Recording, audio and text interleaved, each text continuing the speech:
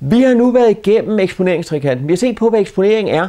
Vi har set på ISO, altså kameraets følsomhed over for lys. Vi har set på lukkehastigheden, altså hvor lang tid sensoren bliver udsat for lys. Og vi har set på blændeåbningen, hvor stort et hul der er i objektivet, som lyset kan strømme igennem.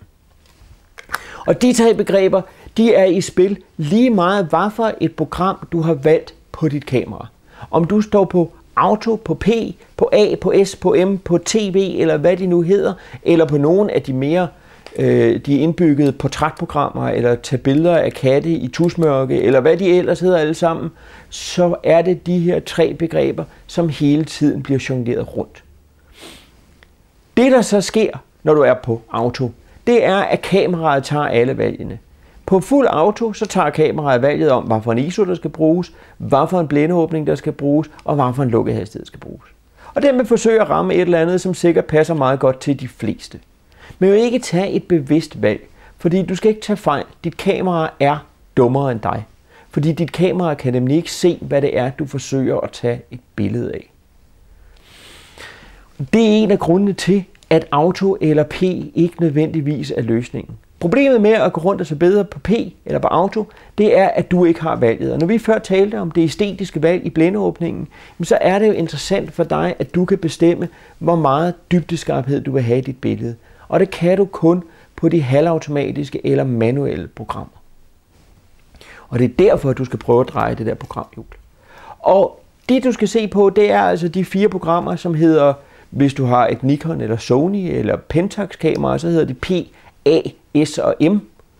Og hvis du har et øh, Canon kamera, så hedder de P, AV, TV og M. Det betyder det samme, men det er bare de to kamerafabrikanter, der har valgt at kalde det noget forskelligt. P er altså program. Det står ikke for perfekt. Det står for program. Det står for kameraet tager valgene for dig. Det kan godt være, at du kan få lov til at stille ISO'en. Det kan du på de fleste kameraer. Så du altså stadigvæk har det valg at sige, jamen jeg vil i hvert fald ikke skyde på andet end ISO 400, eller ISO 800, for har ikke så meget lys, eller ISO 100, fordi det er en højlys sommerdag. Men på P, så vælger kameraet så en lukkehastighed og en blinde, som den mener passer. Og den vælger sådan et eller andet gennemsnitligt, som er meget pænt, men sjældent noget, der er specielt interessant. Næste program er så S eller TV. TV står for Time Value, S står for Shutter. Og ideen i det program er, at du vælger lukkehastigheden, og så vælger kameraet blænden. Fordi inde i kameraet, det bruger den føres på P og på auto, der sidder der en lysmåler, som måler, hvor meget lys der er i dit motiv.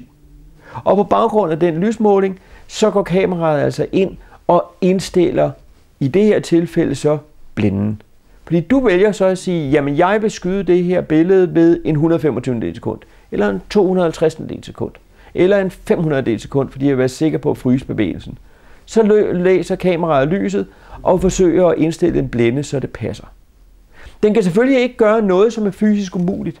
At hvis du sidder inde i en mørk tør håndboldhal og siger, jeg vil gerne tage et billede på en 500 del sekund på ISO 100, så kan TV eller S ikke gøre noget ved det, fordi så godt et objektiv har du formentlig ikke.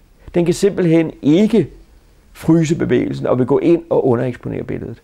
Men hvis det kan lade sig gøre inden for blænderækkevidden, så vil den gøre det på S.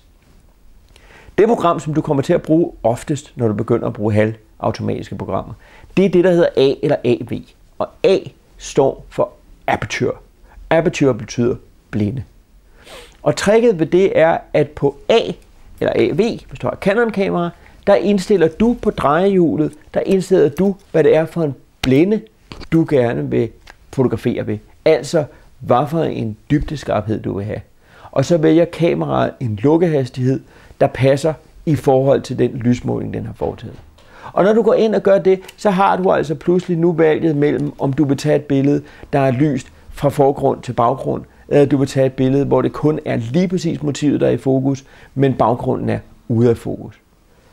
I det første tilfælde, der vælger du et højt tal, altså en lille blindeåbning som F22, F16, så vil kameraet gå ind og sige, så skal vi altså have en ret lang lukkehastighed. Men hvis du har dit kamera på stativ, det er jo ikke noget problem. Omvendt, så vil du vælge en blinde som F2 eller F1,4 for at kunne lave det her billede, hvor at du har den lave dybdeskarphed, og kameraet vil så vælge en lukkehastighed, der passer, som formentlig så vil være højere. Fordi det stadigvæk handler om, at stor blændeåbning giver hurtig lukkehastighed, fordi der kommer mere lys ind, og der derfor i kortere tid skal udsættes for, øh, for lys, hvorimod den lille blændeåbning, det høje tal F16, F11, F22, den gør, at der kommer mindre lys ind, og derfor så skal gardinet være åben længere tid, lukkeren skal være åben i længere tid. Og det sidste af de her programmer, og det er så det, som så mange frygter, og der er ikke nogen grund til at gøre det, det er M. Og M står for manuel. Der sætter du selv din lukkehastighed, og du sætter selv din blændeåbning. Og det betyder, at du pludselig reducerer lysmåleren fra at være den, der bestemmer eksponeringen, til at være vejledende. Du vil stadig kunne se lysmåleren, det vil sige enten minus 2 eller plus 2, eller hvad den nu skal være, men du vælger, om det skal være under- eller overeksponeret. Fordi du ved, hvad det er for et billede, du skaber. Når du ser på mig lige nu, lige her, så siger min lysmåler, at det her det er grotesk overbelyst. Det er ikke så underligt, fordi den her baggrund den er hvid. Og det synes kameraet er mærkeligt. Så den synes, at der skal skrues rigtig, rigtig meget ned for eksponeringen på lige præcis det her billede. Men det er jo ikke det billede, jeg vil skabe. Jeg prøver jo at skabe et billede af mig, der sidder foran en fuldstændig hvid baggrund. Og det er så noget, jeg kan gøre på manuel, fordi jeg går ind og tager valget. Du kan ikke ødelægge noget ved at gå på manuel. Du kan bare eksperimentere. Så gå ind, prøv manuelt. Du skal selvfølgelig ikke gøre det, når du skal ud og fotografere din fætters konfirmation. Så skal du ikke bruge den dag til at tænke, der skyder jeg manuelt hele dagen, hvis du aldrig har prøvet det før. Men tag en dag, hvor du går en tur og begynder at prøve at skrue på de der knapper og se, hvad der sker på manuel. Hvad det er, du kan skabe. I modsætning til de gode gamle dage, så koster det jo ikke noget at tage et billede. Du kan altid slette det igen. Brug din mulighed for at eksperimentere. Kig bag på kameraet og se, hvad der sker, når du drejer til en større eller mindre blændeåbning, når du ændrer lukkehastigheden, når du ændrer ISO'en.